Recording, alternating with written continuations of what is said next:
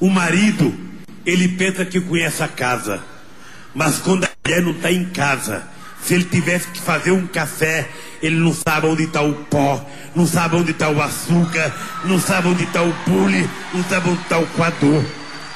E eu traduzia para que o povo entendesse com mais facilidade aquilo que era a arte do que eu queria fazer se ganhasse as eleições para presidir esse país.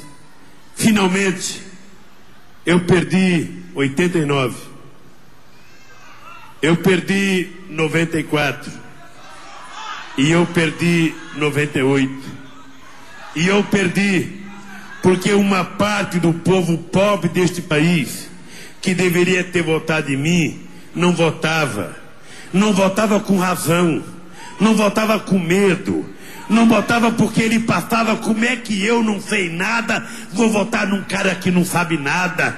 Como é que eu vou votar num cara que só tem o diploma primário, que é um metalúrgico, um sindicalista? Eu lembro uma vez aqui em Casa Amarela, visitando um barraco, a mulher falou: Eu não vou votar em você, Lula porque você vai tomar tudo que eu tenho. E eu olhava pro barraquinho dela e eu falava, pelo amor de Deus, o que que eu vou tomar dessa mulher? Ela não tem nada, como é que ela tem medo de mim?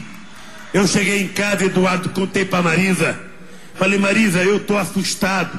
Porque eu fui num barraco de uma pessoa que não tinha nada. E essa pessoa que eu queria ajudar tem medo de mim.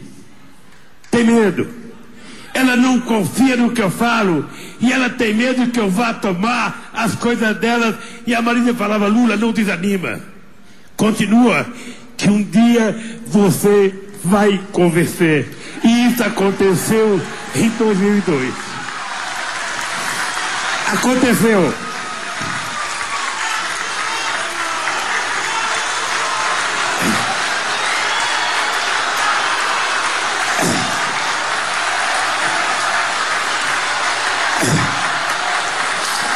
E depois.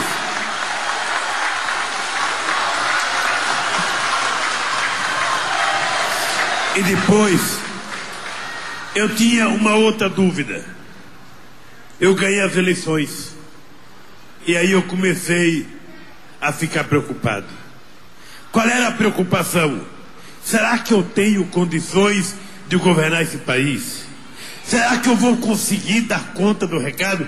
Eu tinha vezes que eu deitava com a Marisa lá no Palácio da Alvorada, eu falava, Marisa, será que é verdade que a gente está aqui?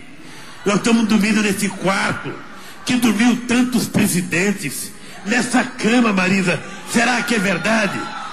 E aí, aconteceu quase que uma coisa sagrada para mim.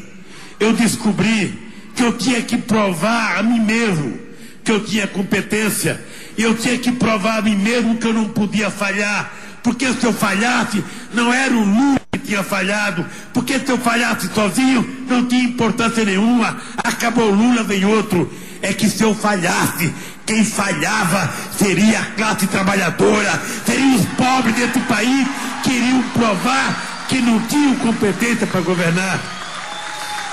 E aí, tomei como decisão não falhar. E trabalhei.